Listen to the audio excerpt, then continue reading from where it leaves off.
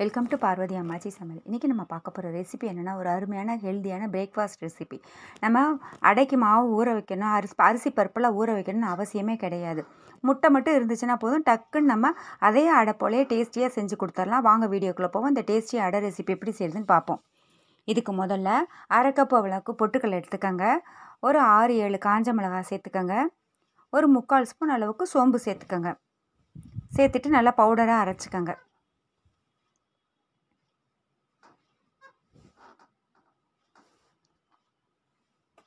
அதுக்கப்புறம் ஒரு பவுலில் நாலு முட்டை சேர்த்துக்கோங்க. இது நம்ம குழந்தைங்க வந்து பிரேக்ஃபாஸ்ட்டு அதிகமாக எடுத்துக்க மாட்டாங்க.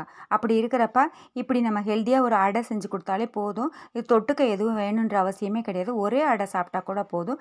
நல்லா உங்களுக்கு வயிறு ஃபில்லிங்காக இருக்கும்.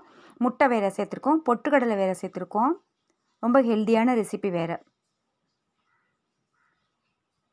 நாலு முட்டையை உடச்சி ஊற்றிட்டு இதில் அரையிலேருந்து முக்கால் ஸ்பூன் அளவுக்கு தூள் உப்பு சேர்த்துக்கோங்க. சேர்த்துட்டு ஒரு கால் ஸ்பூன் அளவுக்கு மஞ்சப்பொடி சேர்த்துக்கோங்க. சேர்த்துட்டு நல்லா பீட் பண்ணிக்கோங்க.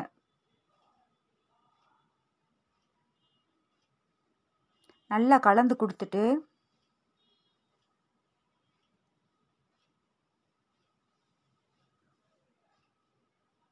நம்ம பவுடர் பண்ணி வச்சுருக்கோம் பார்த்தீங்களா பொட்டுக்கடலை கலவை அதையும் சேர்த்துக்கோங்க. சேர்த்துட்டு ஒரே ஒரு பெரிய வெங்காயம் ஒரு அரை ஸ்பூன் அளவுக்கு மிளகுத்தூள்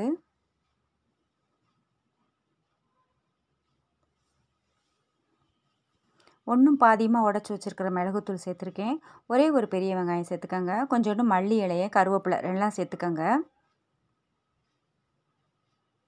சேர்த்துட்டு நல்லா கலந்து கொடுத்துக்கோங்க. இந்த அளவுக்கு கலவை வந்த உடனே ஒரு கா தோசைக்கல்லை காய வச்சுட்டு நமக்கு எவ்வளோ சைஸ் வேணுமோ அந்த மாதிரி அடைகளாக ஊற்றி எடுத்துருங்க.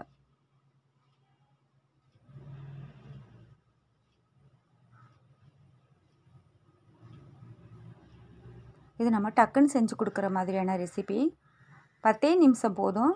அடை செஞ்சு கொடுத்துர்லாம் டேஸ்ட் ரொம்ப நல்லா இருக்கும் நல்லா ரெண்டு பக்கம் திருப்பி திருப்பி போட்டு கோல்டன் ப்ரௌன் வந்த உடனே எடுத்துருங்க. இது கிட்டத்தட்ட நாலுலேருந்து அஞ்சு அடை கிடைக்கும் உங்களுக்கு. ஒன்று சாப்பிட்டாலே போதும். டேஸ்ட் ரொம்ப நல்லாயிருக்கும். கண்டிப்பாக வீட்டில் ட்ரை பண்ணி பாருங்கள்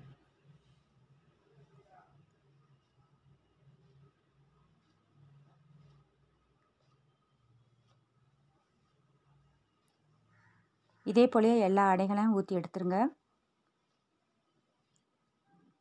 ஸ்கூல் விட்டு வர பிள்ளைங்களுக்கு ஈவினிங் டைமும் செஞ்சு கொடுக்கலாம். காலையில் பிரேக் பிரேக்ஃபாஸ்ட்டாகவும் செஞ்சு கொடுக்கலாம். கண்டிப்பாக பிள்ளைகளுக்கு செஞ்சு கொடுங்க.